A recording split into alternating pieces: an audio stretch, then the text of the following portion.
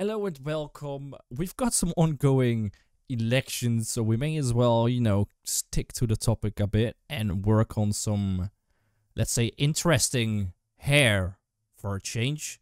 Um, so yes, that's right. We're going to dive into hair systems and let's create Trump's hair. it is interesting. I have it, it really takes some time to look at it to even see how uh, how this works, you know. Uh, but you know we'll make it work. So we got a nice model here that we're going to use to uh, apply some hair to. So let's start by defining where we want the hair to be located. Um, so let's just start adding some hair. So select the, the head, Shift A, and let's go to curve and empty hair. Now let's go to sculpt mode and we'll be able to add new hair. Let's go with the density brush and we can now just add hairs and remove hairs. Now let's set the correct length from the start. So let's set maybe one meter. It's quite a large model. I'm not working in realistic dimensions, but that's totally okay for this sake. Um, so I'm just going to set the length. So maybe it's like 10. I think that's more accurate. We can always increase it. So the trick here is to not go too high with the density because, you know, it's just, not there. So uh, we're going to start, let's say, with a distance minimum of 0.1. Uh, that's too much. That's too much. 0.5. Let's see. I want some interpolation as well, so we can even set this to 1. And that will probably already work. Let's go 0.7. And now we're just gonna start with adding the hairline pretty much. We've got the ear, looks beautiful. it's it's not uh, it's not that important. So we've got some hair starting there. It goes up and then it goes. Well, this is not really the hairline, is it? So it's uh, it's probably going all the way up there, and he's doing some magic with some sprays and stuff to stick this to the to the front. So let's just try to recreate that, right? So we're just going to go Let's say it goes until like hair, maybe down there to the ear, a little bit in front. And then we go back here. And the, the back of the head is usually filled quite well, so let's just fill that up. Beautiful. Beautiful, beautiful. Right, so the ear is there. And this can all be filled with hair right? So there we go. Beautiful. So the flimsiness, let's call it that, um, is mostly at the front here, I suppose, and maybe at the top a bit. So we can just decrease the density there by adding a higher um, a distance minimum between the hairs. And then we can start removing some hairs. There we go and maybe one here at the sides, a bit less. There we go. Beautiful. Really start going in there, you know. Remove some some hairs. And there we go. So now let's just work with this and start some grooming. And we're gonna head head over to the comb brush. Now the sides is it's quite easy, and I'm gonna enable collisions here, sculpt collision. So let's move this to the left, and if you enable the sculpt collisions, it means you're um, your hairs are not going to intersect with your mesh. And I'm also going to set this from sphere to projected. It's just a way I prefer to work on this. So this goes straight back pretty much. And let's just get everything into the right shape first. And the top goes forward a bit as well. So we'll see how that goes later on. But for now, I suppose we need to just get those initial directions of the hairs a bit right. He's actually got quite long hair there. Wow. Interesting. The more you look at it, the more interesting it's, it's getting.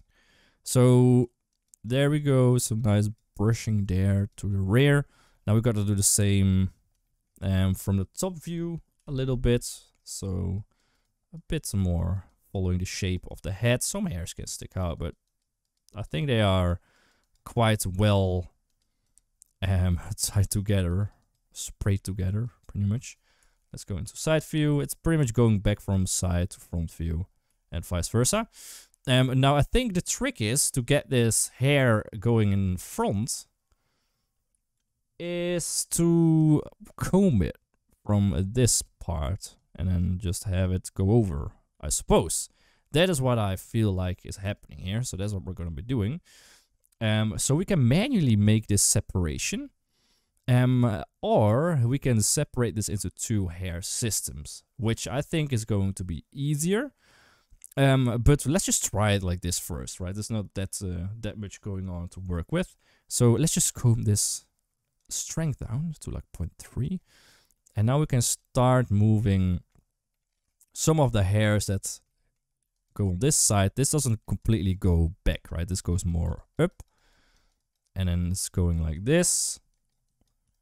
Goes over to the right. And then it goes more in front of the face as well.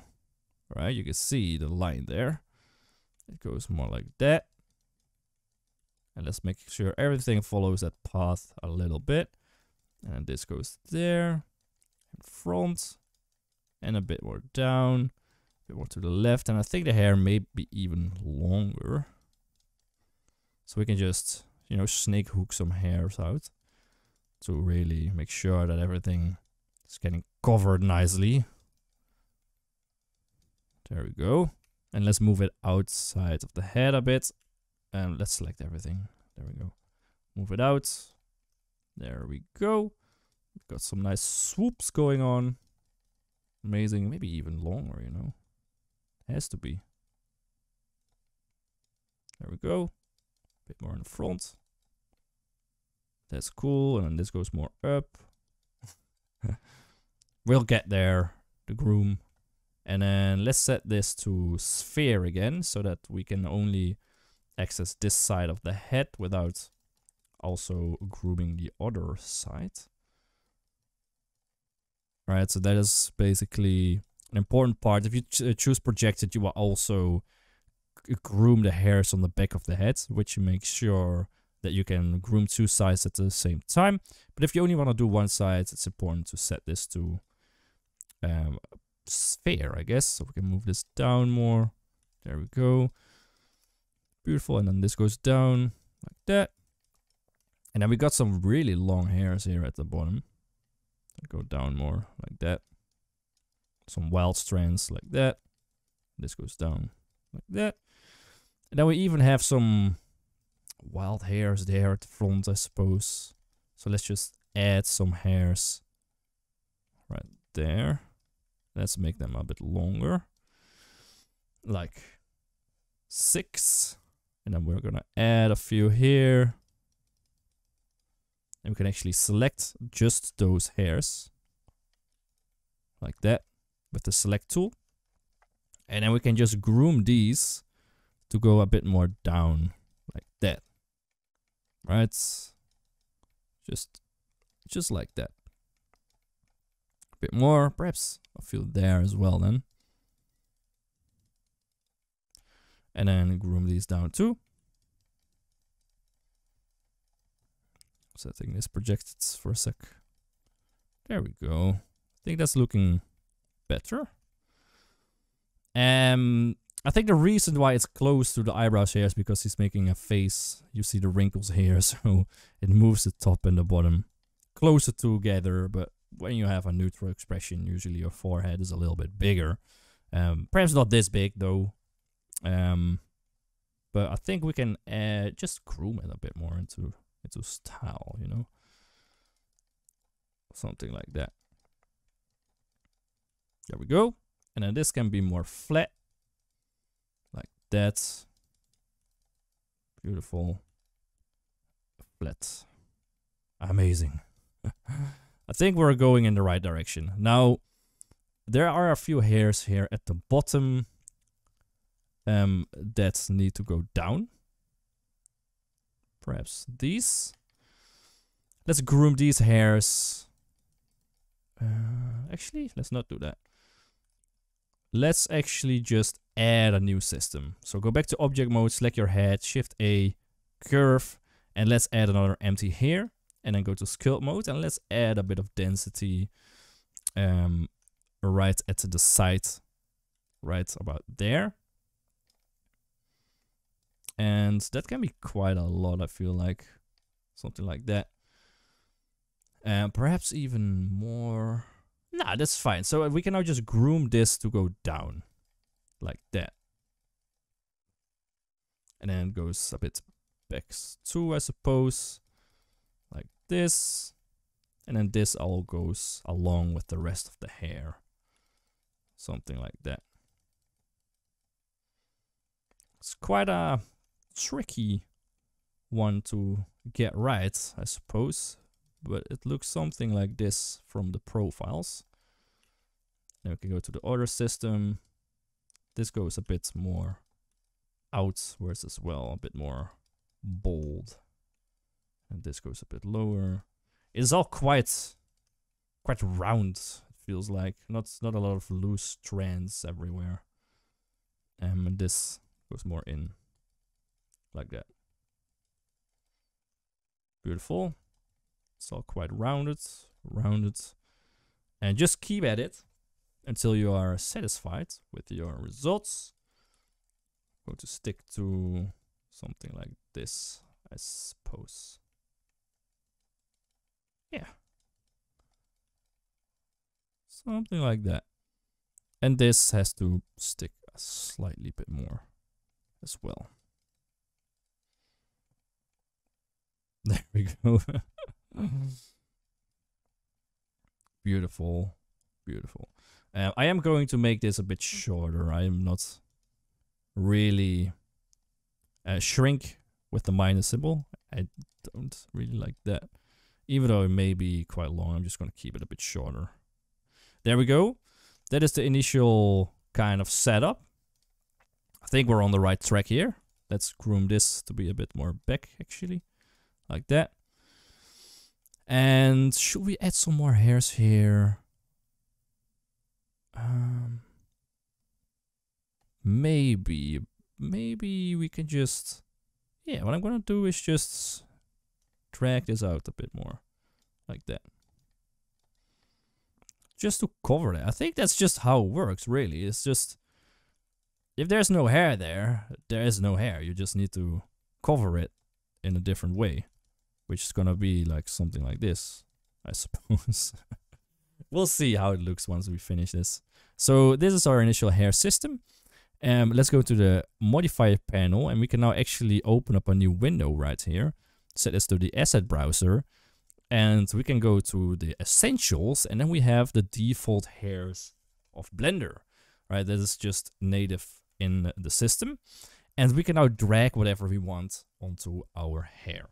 So what I want to do is let's get our trunk back. So we first of all need some more hairs. I think that's a good one to start off with. Um, so there's two ways to do that in here. Uh, we got a duplicate hair curves and we have an interpolate hair curves. So we can drag that on there. Um, it's going to be removed first, but we can reselect our surface and now we'll end up with a lot of hairs.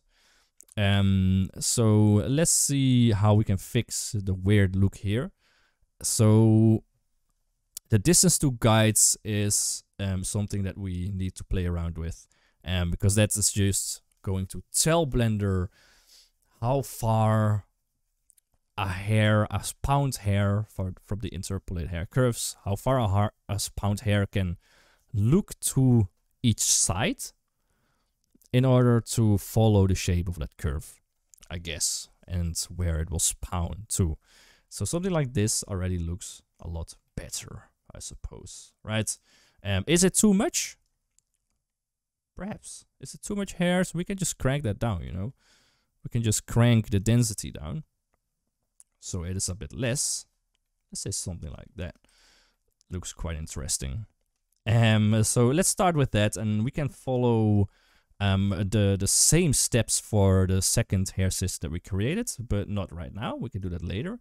And then for the hair, we can also drag in a little bit of a clump, I suppose. And we especially have that on the sides here where it's a bit more wet. I don't know, it looks less dry.